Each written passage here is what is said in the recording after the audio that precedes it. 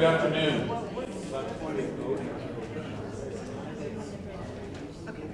Thank you very much for being uh, uh, with us today um, for a very exciting discussion we're going to have about maintaining an independent judiciary in the face of political challenges. Uh, a topic that is now at the forefront of political discussion in a lot of countries, uh, uh, very much including our own.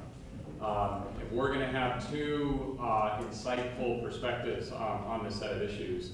Uh, first from uh, Chief Justice Tassaduq Jillani uh, from Pakistan, um, who served as the 21st Chief Justice of the Supreme Court of Pakistan from uh, 2013 to 2014. Uh, he has had a distinguished career as a lawyer and as a jurist in the country of Pakistan, as well as playing a significant role in discussions of international law on the global stage.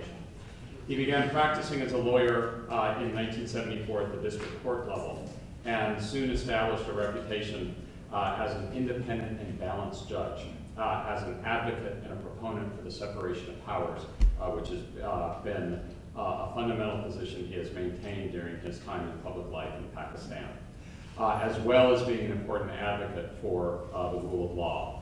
He served as the judge of the Lahore High Court from 1994 to 2004 before joining uh, the Supreme Court. He has served as Advocate General of Punjab, as a member of the Punjab Bar Council, as General Secretary of the District Bar Association of Multan, uh, as a co-chair of the Working Party on Mediation and Family International Law for the Hague Conference, and as a co-chair of the World uh, Justice uh, Project. He has a master's in political science from Forman Christian College and a Bachelor of Laws from the University of Punjab, as well as an honorary doctorate in, in Humane Letters from the University of Southern Virginia in the United States. Uh, as you enter today, you may have heard uh, music in the background, uh, and that music was a poem uh, that Justice Jillani has written himself, entitled Justice for All. Uh, it was declared as the official anthem of the Supreme Court of Pakistan in a meeting of the full, full court, and it is described in an entry wall uh, for the court. Uh, in that poem, it gives a vision that was part of the founding of the country of Pakistan of democracy for all, where Hindus and Muslims cease to be Hindus and Muslims when it comes uh, to the political sphere. Uh, after we uh, enjoy words from Justice Jillani, we'll have uh, the Honorable Margaret McKeown uh, give uh, some remarks. Um, uh, uh, Judge McKeown is on the U.S. Court of Appeals for the Ninth Circuit Court, uh, where she was uh, nominated by President Clinton and confirmed by the United States Senate, uh, uh, Senate in 1998. getting Senate confirmation these days is a, a significant accomplishment.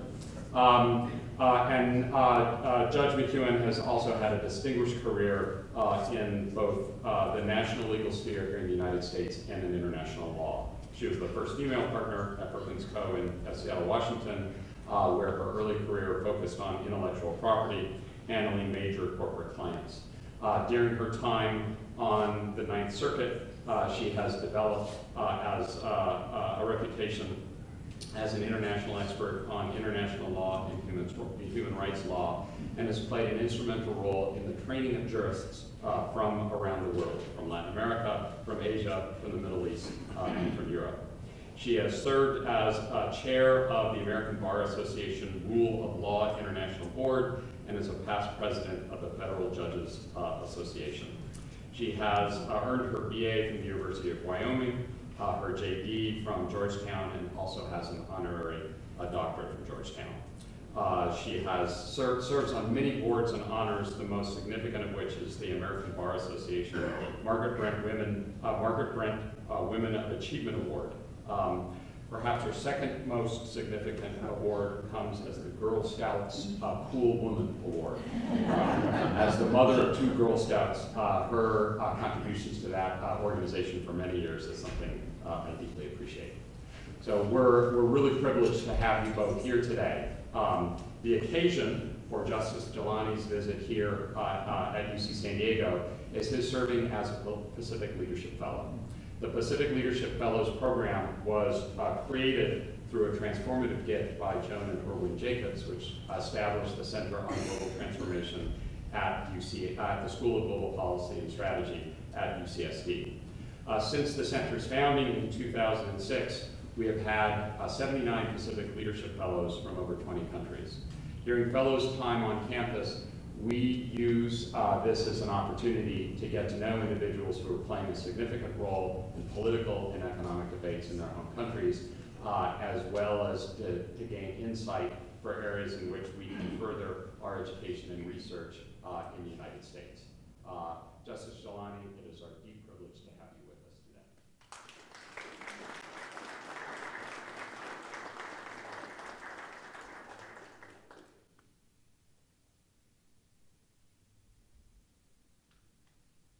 Well, thank you, Gordon Hanson, for your very kind words. I felt humbled uh, what you said.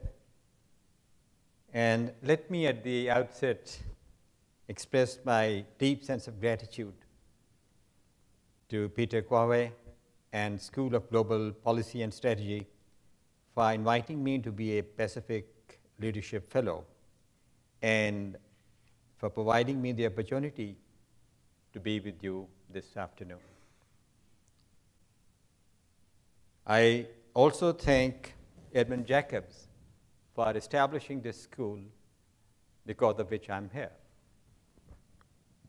And you, Judge McKeown,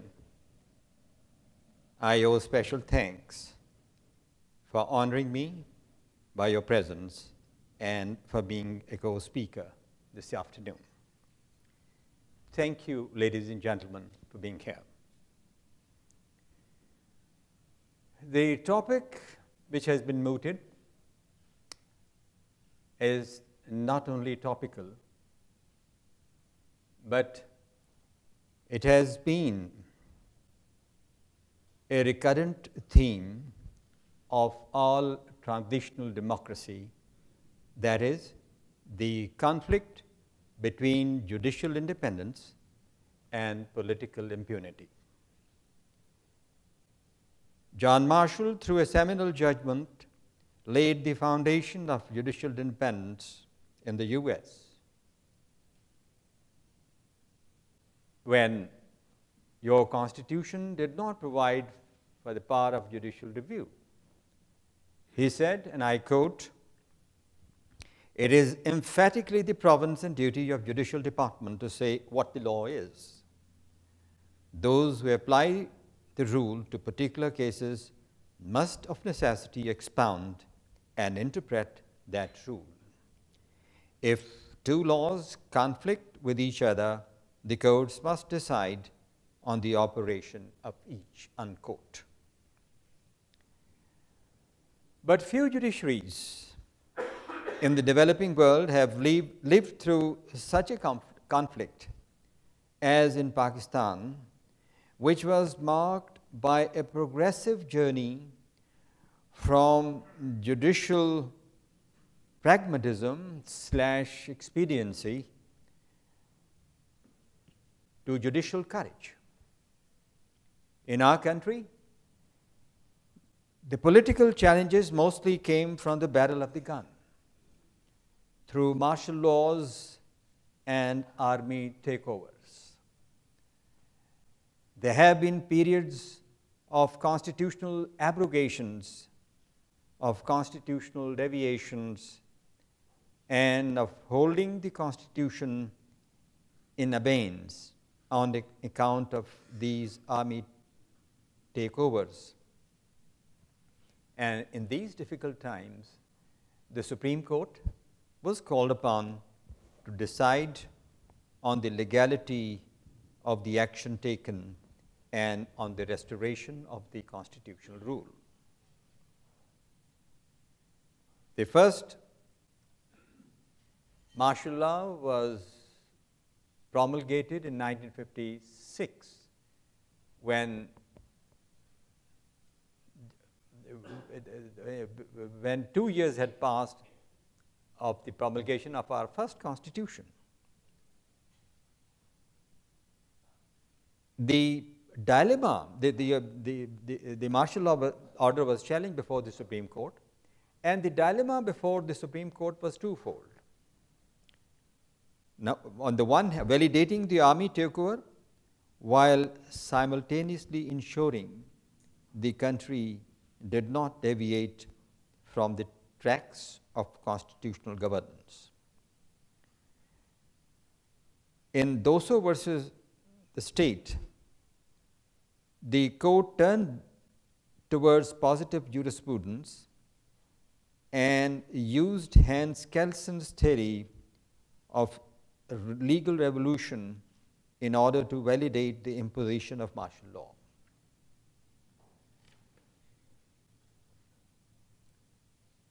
The court referred to this doctrine, doctrine of effectiveness as though for Kelsen, the mere, effective, the mere fact of effect, effectiveness was sufficient for legal validation of the revolutionary government's acts. However, this interpretation was con contrary to what Kelsen actually said.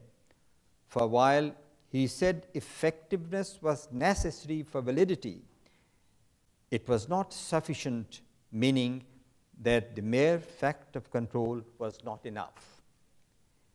Needless to say, the court's interpretation and application of this theory came under severe criticism.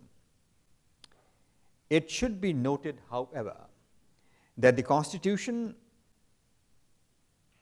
stood abrogated at that time, but one thing the court should be accredited for is that by way of this decision, it unequivocally, unequivocally declared that country's sole method of governance would continue to be by way of constitutional rule.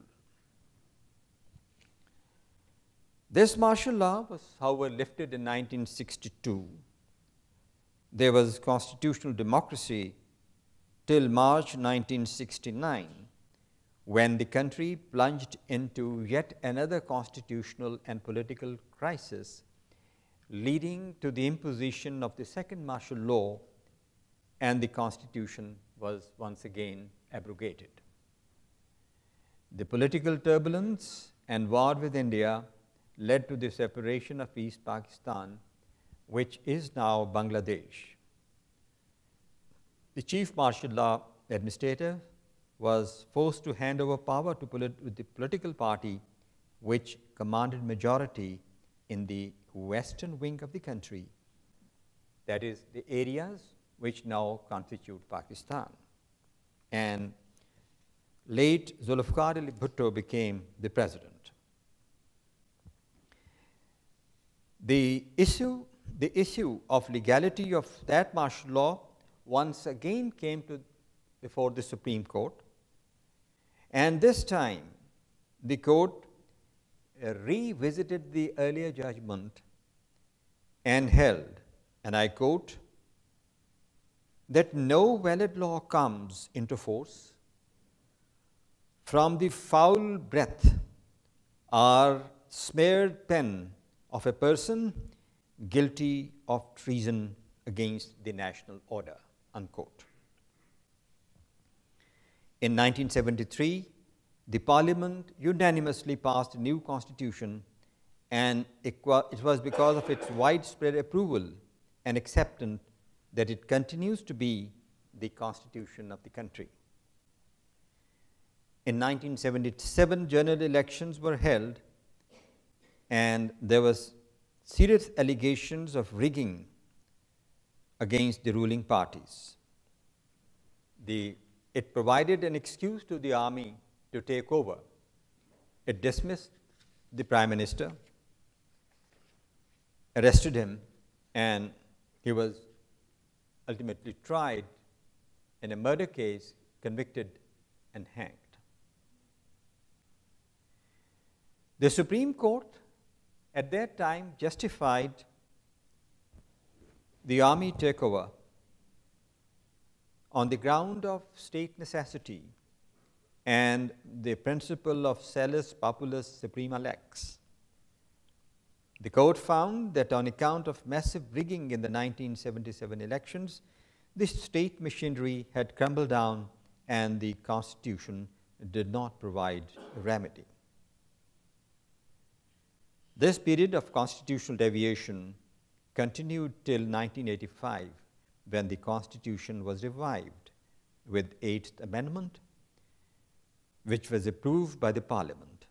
However, General Ziaul died in an air crash in 1988, which paved the way for general elections and the restoration of civilian rule. From 1988 to 1999, the country was being ruled by a democratically elected government. In October 1999, the then Prime Minister of Pakistan dismissed the Chief of Army Staff because he was apprehending, apprehending that he is likely to take over. But the General Musharraf reacted and took over the reins of the government, suspended the constitution, and dissolved the National Assembly. He also arrested the Prime Minister of Pakistan on the allegation that the Prime Minister wanted to hijack the plane in which the Chief of Army Staff was coming after a foreign tour from Sri Lanka. This, according to General Musharraf, was done so that the new appointee could take over as Chief of Army Staff. Now, this army takeover of General Musharraf was challenged again before the Supreme Court.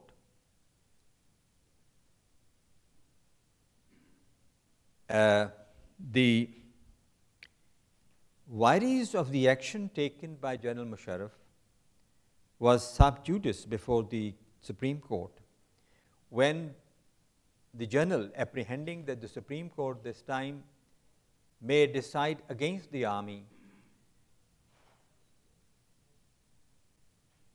passed a new provisional constitutional order which prescribed a special oath for judges of the Supreme Court and High Court, and those who did not take oath were laid off. As a consequence, and as provided in the provisional constitutional order, order, several judges of the Supreme Court and High Court were declared to have ceased to be judges because they did not take fresh oath.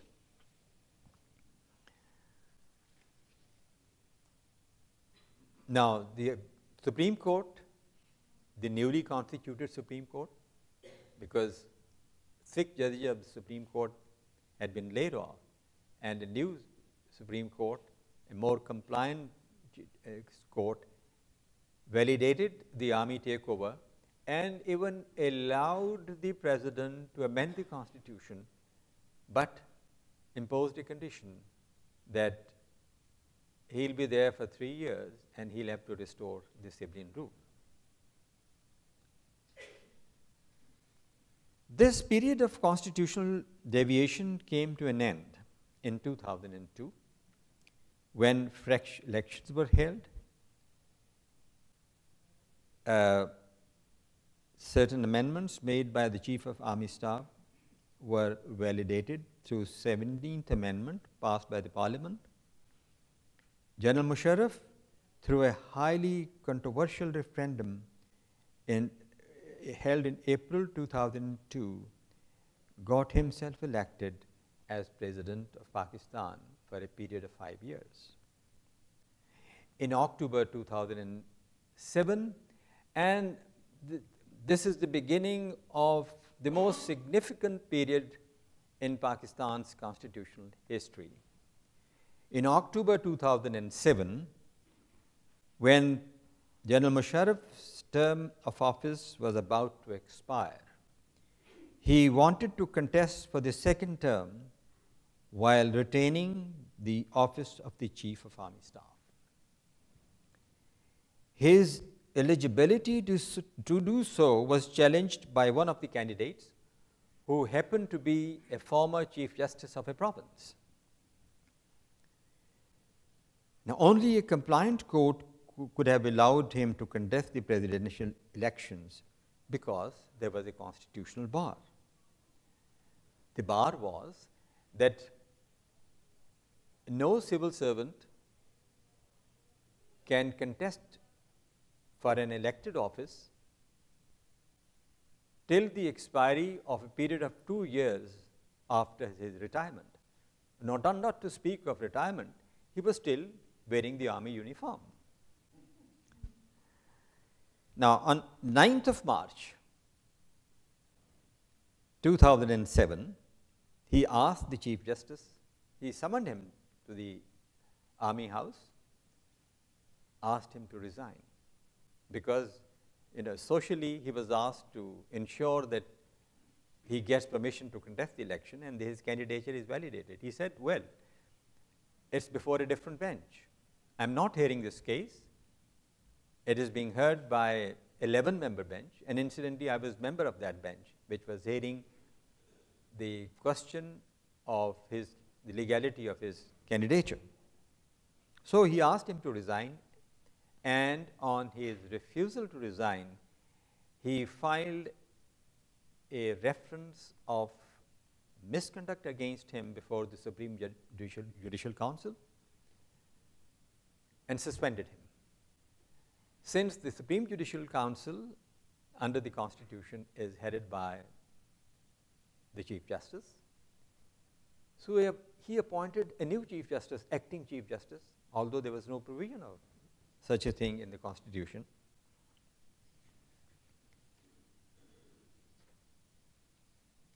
Now, this, for the first time, sparked of a protest by lawyers, civil society, and the general public.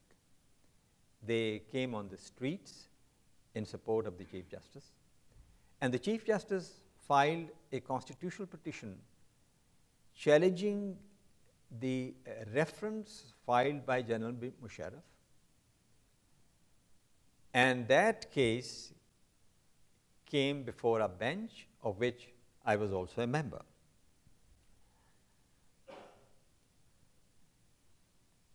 Uh, in July 2007,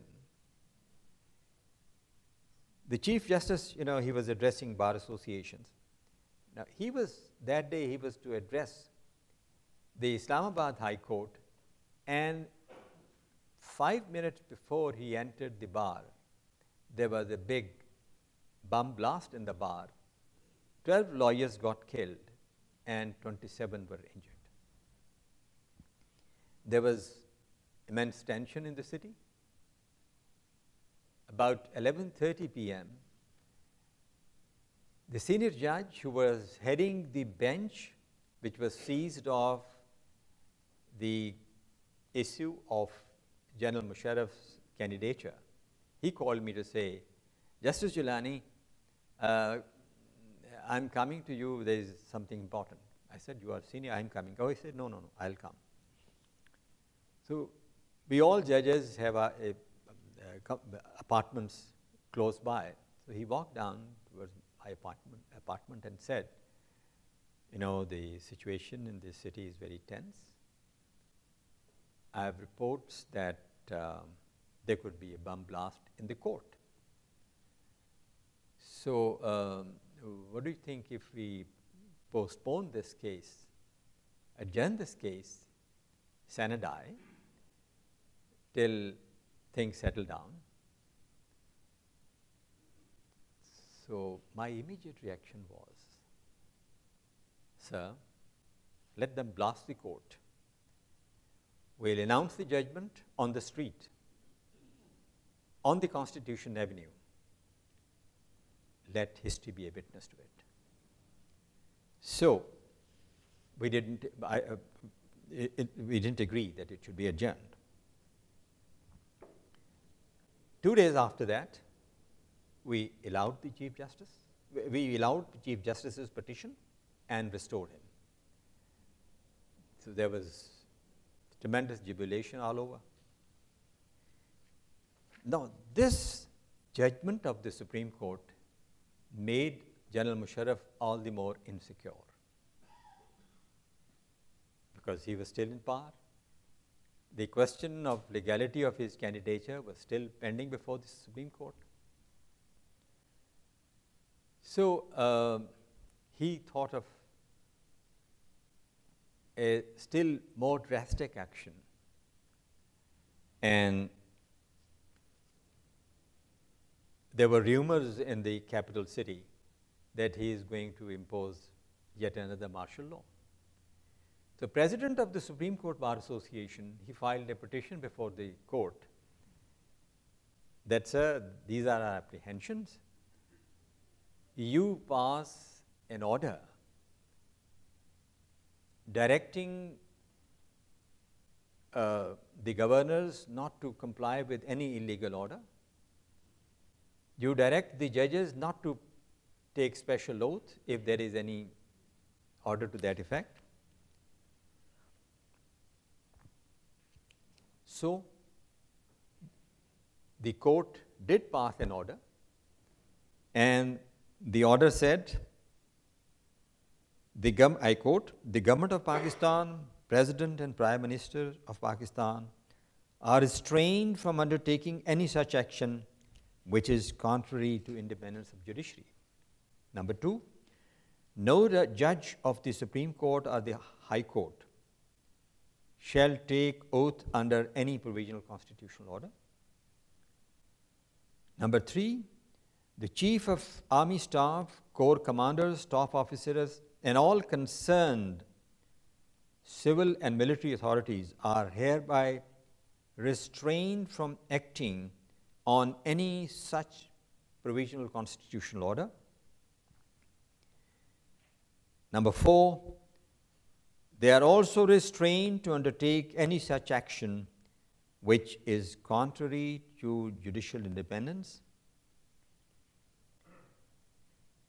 And the main case of uh, General Musharraf's eligibility was directed to be placed before a full court next week.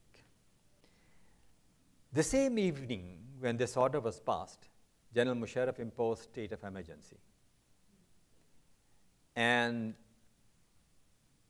along with that, he issued a provisional constitutional order which prescribed a special oath of loyalty to General Musharraf.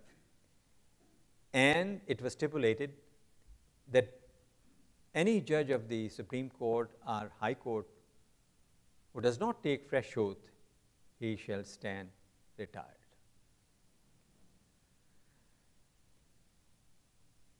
Uh, 12 or 13 judges out of 17, 11 judges out of 17 refused to take oath in the Supreme Court, and 69 judges from the four provincial high courts, they also refused to take fresh oath.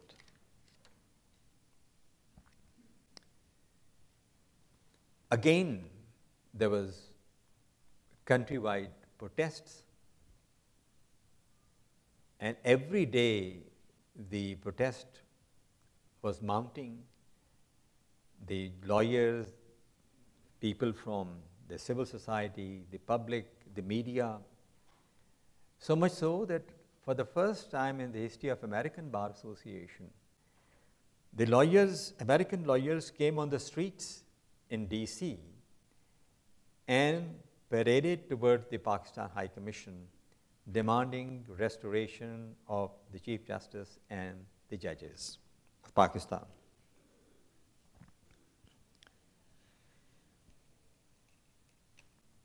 Uh, the journal perhaps was also asked by his friends in DC to be sane and announce elections. He was still resisting, and Benazir Bhutto, who was on self exile, in the meanwhile, she came to the country and addressed a public meeting in the capital city in support of the Chief Justice and the judges. When she was coming out of the public meeting, she was shot dead and killed. That added fire to the fuel. The entire country was ablaze. And within a week, General Musharraf had to announce fresh elections within a month and a half. The elections took place. People's Party came into power. People's Party and the opposition party both decided to, to uh, file impeachment proceedings against the president.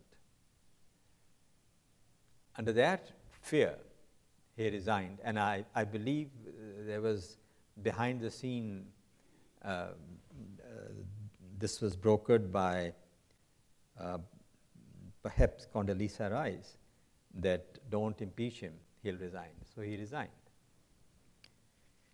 And the elected government restored the Chief Justice and the judges.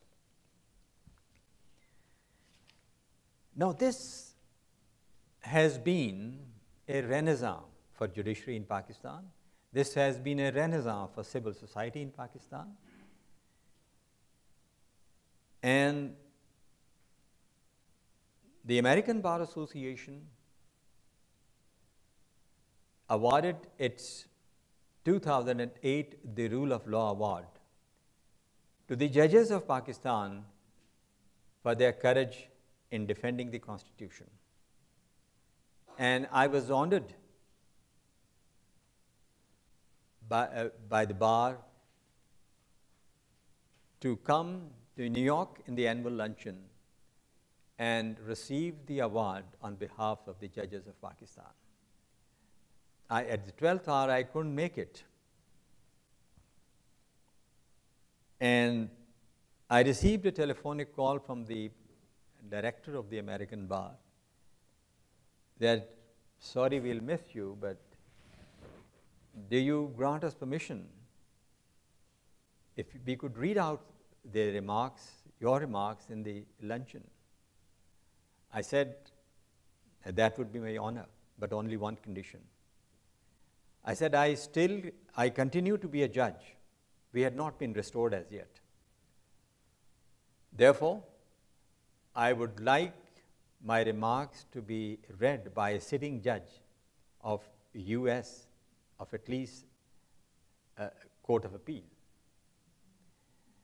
And the third day, I was pleasantly surprised. I received a call from the ABA that Judge Clifford Wallace was gracious enough to agree, and he read out the remarks. I am still beholden to you, Judge. Thank you very much. So, uh,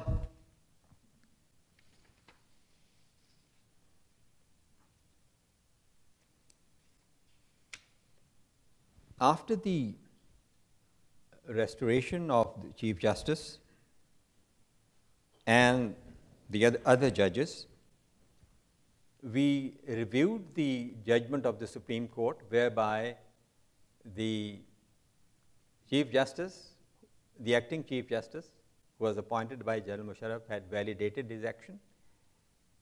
We set aside that judgment in review, and we directed that all those judges who had taken special oath of loyalty to General Musharraf be proceeded against for violating the order of the Supreme Court uh, and for gross misconduct.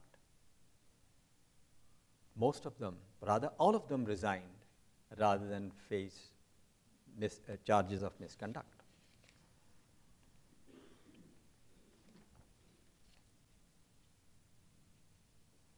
Uh, yet another case in which uh, the Supreme Court asser- asserted itself in the fa- face of political challenge was uh, the case of uh, Yusuf Raza Gilani, the Prime Minister of Pakistan.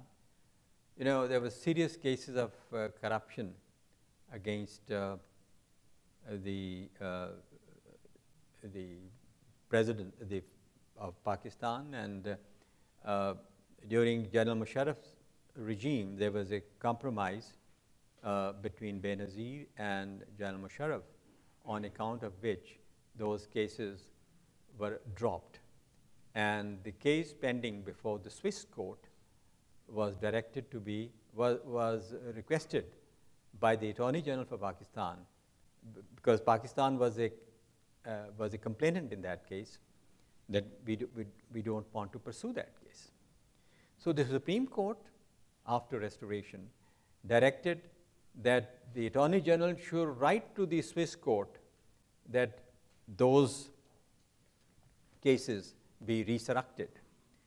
And on refusal of the Attorney General and the Prime Minister, the, the sitting Prime Minister were proceeded against on charges of uh, contempt. He was convicted and sentenced for imprisonment till rising of the court. And uh, on the basis of that conviction, he, he was held to be un, uh, dis, uh, to, to remain, to, he was uh, declared unfit to remain as Prime Minister of Pakistan.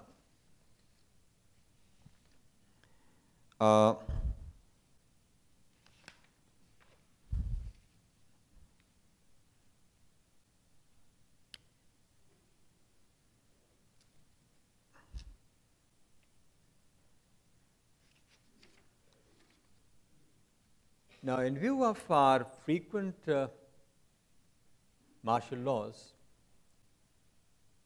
they, they, special provisions have been inserted in the Constitution to ensure that the Constitution is not abrogated. Uh, for instance, Article 6 prescribes that any person who abrogates or subverts or suspends or holds in abeyance or attempts or conspires to abrogate or subvert or suspend or hold in abeyance the Constitution by use of force or show of force by any other constitutional means shall be guilty of high treason. Unquote.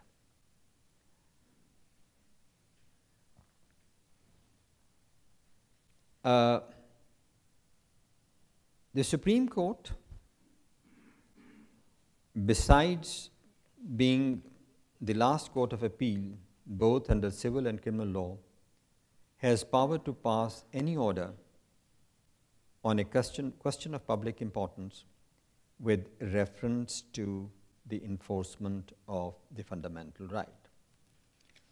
And to buttress the authority of the Supreme Court, the Constitution prescribes that all judgments of the Supreme Court shall be binding. Well, ladies and gentlemen, religious freedom, uh, sorry, religi religious extremism has also led to pressures and an atmosphere of fear in the country. There are pressures on justice system that cannot be attributed to politicians. Perhaps one of the biggest threat to judiciary's independence comes from the religious orthodoxy. So therefore, in such a socio-political milieu, Courts have to play a more proactive role in the enforcement of fundamental rights and the rule of law. It was this perception and belief which persuaded me as Chief Justice of Pakistan to take suo motu notice of a bomb blast incident at a church in Peshawar in which 84 Christians died and several got injured. I called religious leaders of all sects, issued notices to Attorney General, the Advocate General of, of four provinces, and after hearing all concerned, delivered a detailed judgment. It was inter alia held that all citizens, Muslims and non Muslims, have equal right to believe, to practice, and to propagate their religion. I issued eight directions to the state, which included changing the curricula, school and college curricula, banning the hate speeches on social media, creation of a special force to protect the places of worship of minorities, and the establishment of a national council on minority rights. I thought, who would ensure its implementation? Because judges pass judgments, but its implementation is a different ballgame.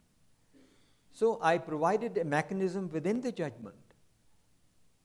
I directed that a three member bench of the Supreme Court shall be constituted to ensure enforcement of this judgment in letter and spirit, and this three member bench still exists.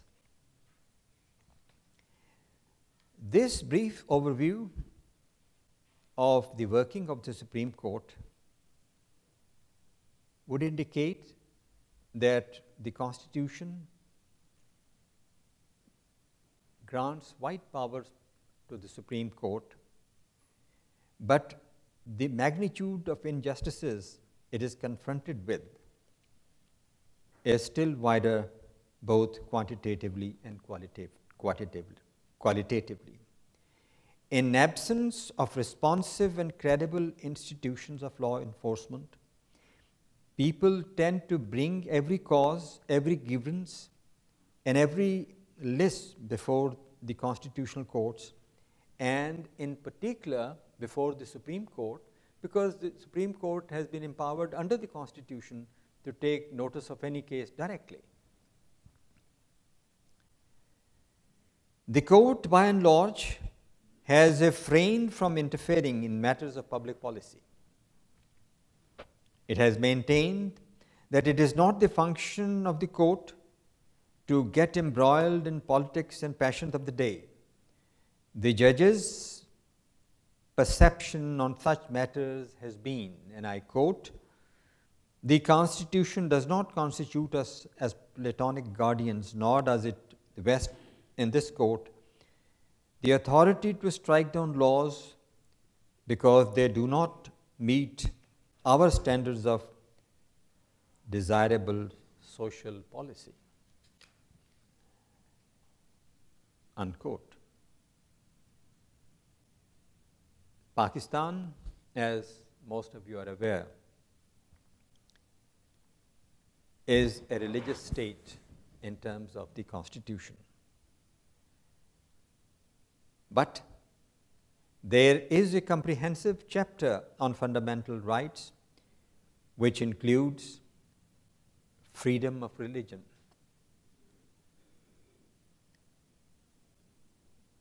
The court, through its judgments, has endeavored to ensure that the enjoyment of this right of religious freedom does not lead to myopic view of religion or to the infringement of a similar right of other religious minorities and that it does not violate the fundamental rights provision of the Constitution. It struck down a law which was being passed by a provincial assembly which was based on a rather retrogressive interpretation of Islam and the court the supreme court said it is violative of fundamental rights the challenges faced by judiciary in Pakistan during the last few years have recharged and it has emerged as an active pillar of the state. It marked the beginning of a new constitutional jurisprudence. It has led to an end of period of constitutional deviations and an increased social role of the rule of law, which had the effect of greater awareness amongst the people of their fundamental rights and the values of democracy. This change in constitutional culture slash jurisprudence has five distinct facets. First, The events of 90, uh, 2007, when the Chief Justice and judges were suspended and the state of emergency was imposed in the country, led to a bitter realization that mere formal constitutional legitimacy based on constitutional textual protections cannot safeguard judicial independence. It is, in fact, the legitimacy of the Supreme Court in the eyes of the public as guardians of the values of justice that guarantees its independence and sustain, sustained prestige. Number two, the Supreme Court is not merely mandated by the Constitution, but in fact is bound by the spirit of its office to exercise its independence in order to provide a much necessary check on the actions of the legislature and the executive.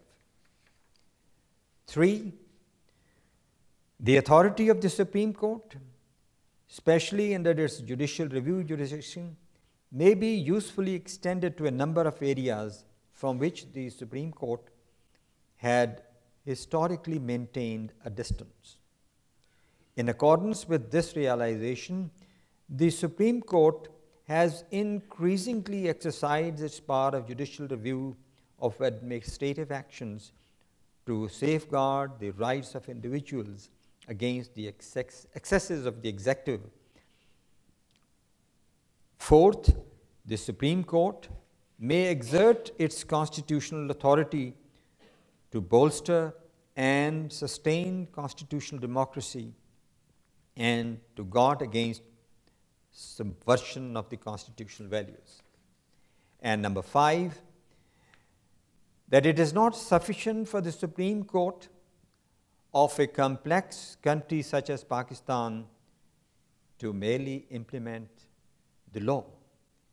It is, in fact, important for the court to display initiative and courage in the face of challenges to the constitutional values from fluctuating majorities are passions of the court.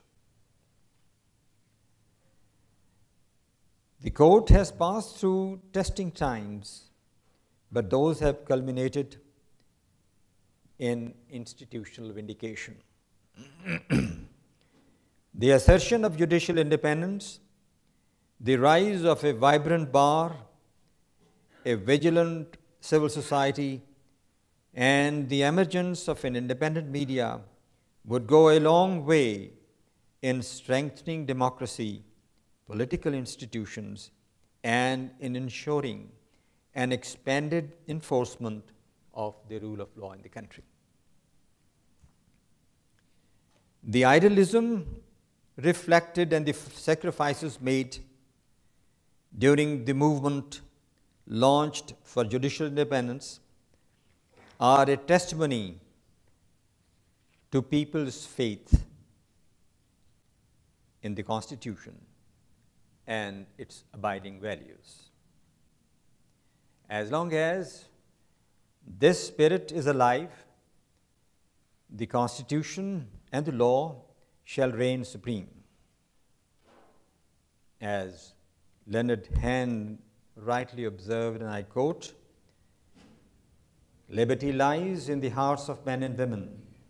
When it dies, no constitution, no law, and no code can save it. Unquote. And we have proved it through our struggle. Thank you very much.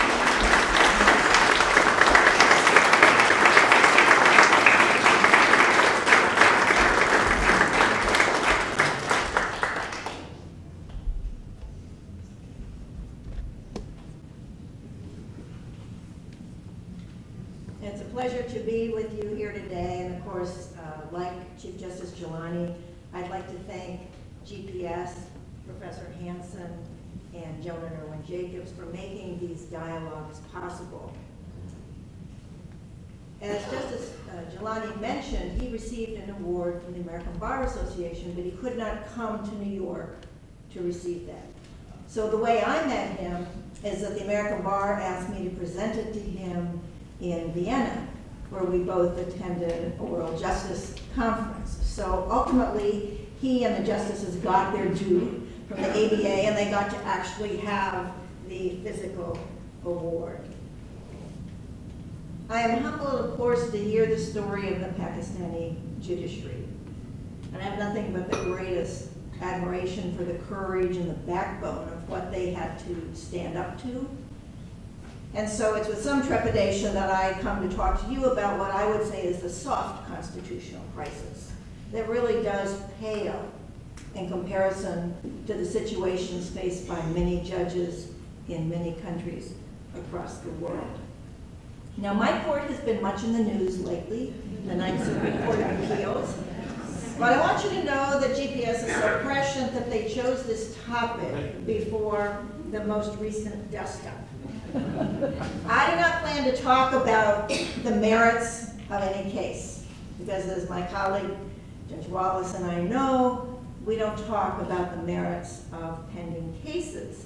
But we can talk about the atmospherics. So I want to give you some sense of history, then talk about what's happening today, and share with you what I think are some of the consequences of what's happening.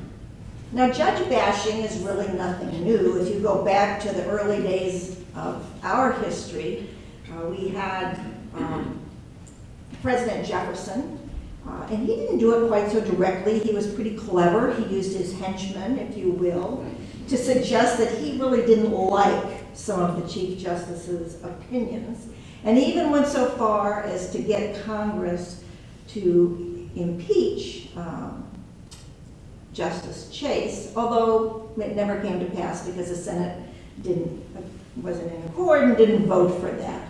But a lot of this was behind the scenes wrangling. So then 20 years later, we have President Jackson enters the scene. And he's not too happy with Chief Justice Marshall. But his criticism actually is not of Marshall as a person or as a judge, but he disagrees with him on how to interpret the Constitution. And there were a couple of big cases back then, one involving national banks and another involving tribal land of the Cherokee Indians. And Jackson was really appalled at these decisions. At one point, he basically said, well, they made the decision, let them go out and enforce it. But again, the rhetoric wasn't really quite like we're seeing today.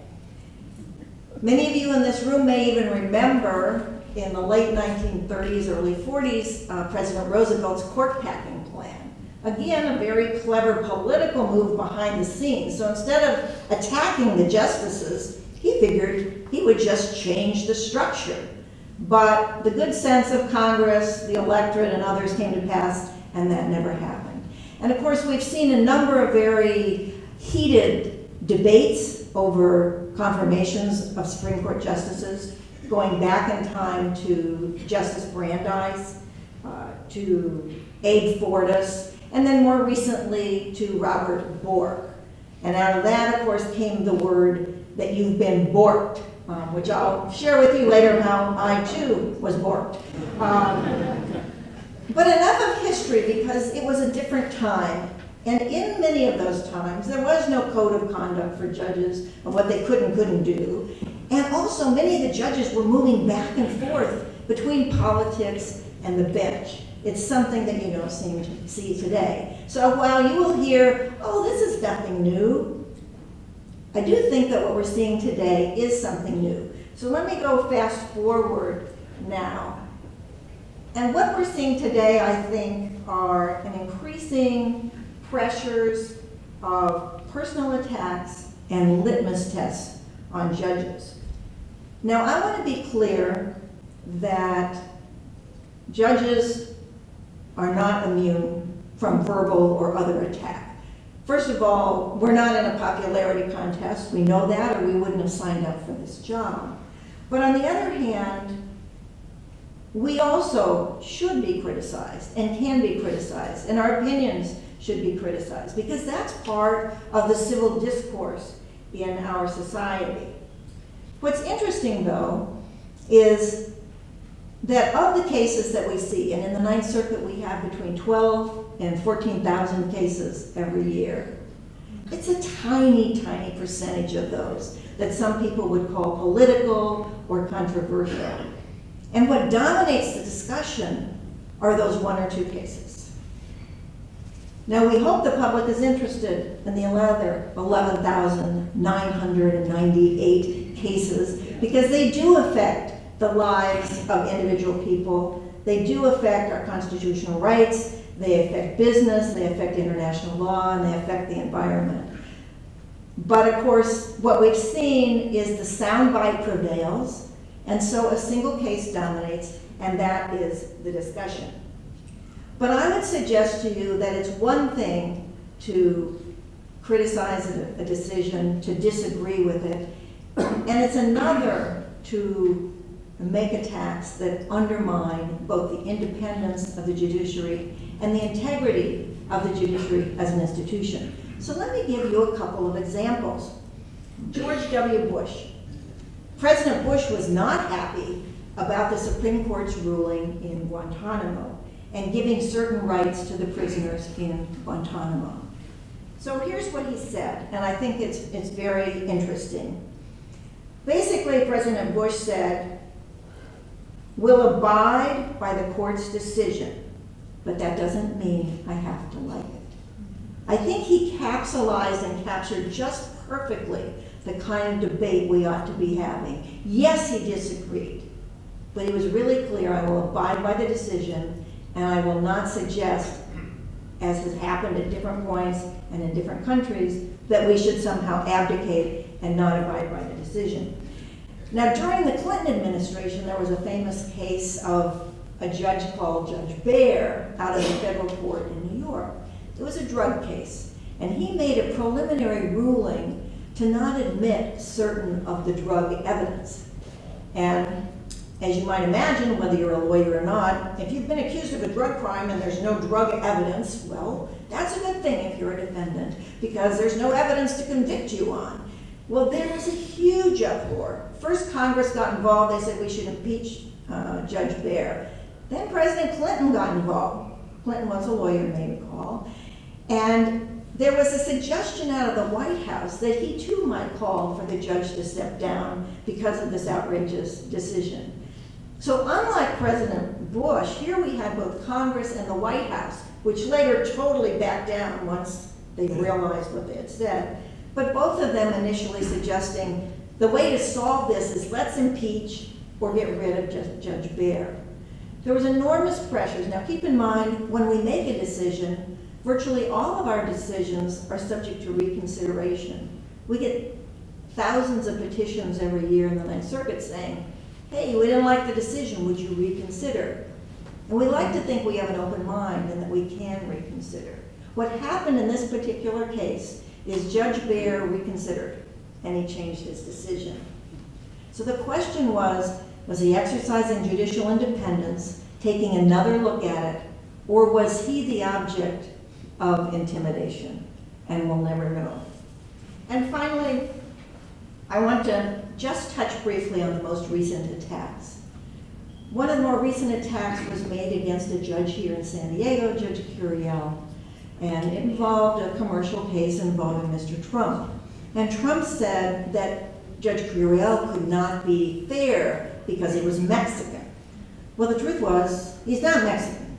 He was born back in the Midwest, and his parents are of Mexican heritage. But again, the suggestion that a judge couldn't be fair because of that. And then we came to these cases involving the immigration order. And there's probably nothing so divisive or debated in our country these days as that topic. But when the judge in Seattle, who happened to be a Republican appointee, made his initial decision, he was then called out for being a so-called judge. And in the press, it was suggested that if we suffered from a terrorist attack, you could lay it at Judge Robart's feet. The case then came to the Ninth Circuit, where the president deemed us to be out of control, ridiculous, and also a threat to national security. Now, I think there's a difference between a public attack and a disagreement with a decision and the kind of decisions and attacks that go after a judge individually for his integrity. If there is an ethical violation, absolutely, then you go after the judge personally because we have a very high standard of ethics. But to go after the institution and to go after the judge personally, I think, is really kind of a horse of a different color. The same thing is true in the confirmation hearings. They've really turned into a kabuki theater type of operation, where it doesn't really have to do with the person's independence, their temperament, or their credentials. Because I can assure you that virtually all of the people who've been nominated would score high on all of those counts. But instead, they're going after personal attacks and they're trying to force people into saying, well, how would you rule on this? And then when the person sensibly says, I can't tell you in advance how I would rule, then they say that he's skirting the question or not answering the question. And so these recent judicial hearings, which, you know, years ago they didn't even have hearings, and then they didn't have public hearings. Now we have both. And I think it's a good idea. I think it's transparency in both our congressional process and judicial appointments. But it also has taken on a patina that's far different from what it should be when you have basically the judges becoming kind of battering rams for other political reasons. So why does this matter at all? I think that the kind of attacks I'm talking about it's not a distinction without a difference. And let me give you three reasons why I think it matters. First of all, I think it matters because it undermines judicial independence. And it means that you have political elites and others who are basically telling the public that there's no respect for the judiciary, that we don't respect the independence of the judiciary. And where it gets dangerous is where criticism can cross over to intimidation. Now, I recognize that as a federal judge, I hold a very special position because I have a lifetime appointment. And that, of course, is one of the beauties that our drafters wrote into the Constitution is that we would have a lifetime appointment so we would not be subject to political vicissitudes. The same is not true of judges or elected judges because they are on the line every four years. And again, it's the anecdote, it's the single case that's called out about those judges. So I think it matters because it really strikes at the heart of what we think has been really a premier aspect of the American judiciary, and that's our ability to sustain our judicial independence. A second reason, and one that I would say is probably an unintended consequence by those who make these personal attacks, relates to the security of judges. Because it's not a question of just tweeting or putting something on the internet speaking with a reporter. But the reality is, when you legitimize these kind of attacks, you also embolden some people who want to do more than have a discourse, but instead they want to threaten, and ultimately some want to harm and injure. So yes, we've had judges killed. Not long ago, a judge's family was killed in her home, husband, mother and father. We've had judges shot at on the bench. We've had courthouses blown up. And I would suggest that this is probably an unintended consequence of those who want to attack the judiciary in a very personal way. Justice Jillani mentioned the question of religious freedom, and I can say my family and I were at the other end of that, needing judicial security on an issue that involved religious freedom. And often those cases are the kind of cases that cause great public debate and cause great public disagreement. And the third reason that I think we ought to take note of these kinds of attacks is because I think ultimately it will affect who wants to be on a court. Why would somebody who's making a very good salary, and in some cases lawyers making millions of dollars, want to take a huge pay cut to come and be the object of this, not to mention the security risks. But that also ties into the confirmation process. And the more divisive we are in the confirmation process, the more we focus on the political aspect of it instead of temperament, quality, intellectual ability, I think you limit those who will come forward and say, I want to be in public service. I feel it's a privilege to be in public service. I did wait three and a half years in a confirmation crisis that they thought would never end, and then magically it did, and they decided to start confirming some judges again. And my dear husband, Peter Cowhey, and my family lived through that, and they lived through all the news attacks on myself and other judges um, who were really caught as, I would say, um, kind of judicial or political footballs. We learned it's not really about us, of course. Um, you might think it is, your family might think it is, but it's not really about the judges. It's really about a larger discourse that really goes far beyond an individual judge or even an individual court or even an individual institution. It's interesting because when we think about courts and independence, one of the things we forget about is that under a constitutional structure, the role of the courts in the protecting the rights of minorities and protecting constitutional rights is really, really important. And I like to think back to a, a quotation from Justice Black. Hardly anyone, individuals would label a liberal. But he says, that courts are havens of refuge for those who might otherwise suffer because they're helpless, they're in need, or because they're victims of prejudice and public vindication or admiration. Now, Justice Black was really just saying what many other jurists have said over the years, that the courts act as a backstop, that we have this quite amazing system of separation of powers, and it's really worked out quite well so far. The Congress is a pushback to the executive. The courts are a backstop to make sure that we're following the Constitution and that we're protecting the Constitution.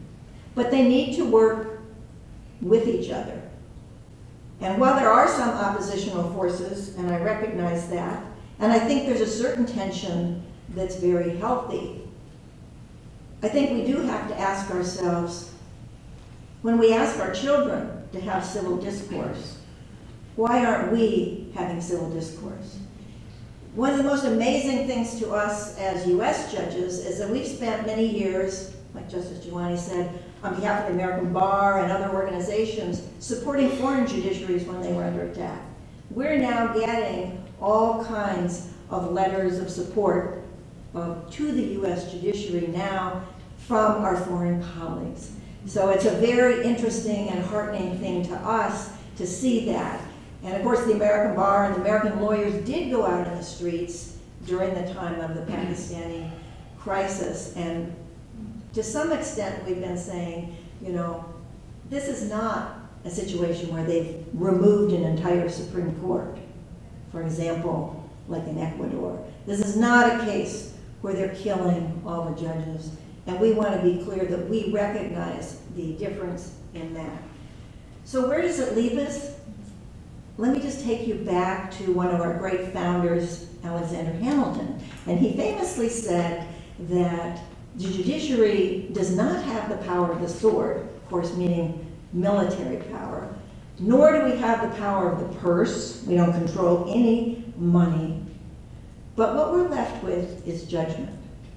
So I think what we're asking is let us judge. Let us not be thrown out there as a judicial punching bag. And in my view, things will right themselves. They have for over 200 years. I don't see this as a crisis that will continue. And the reason I don't is because I think that the judiciary ultimately enjoys the support of the people and the common sense of our citizens. So thank you for letting Justice Jillani and me talk with you about something that's near and dear to our heart, the independence of the judiciary.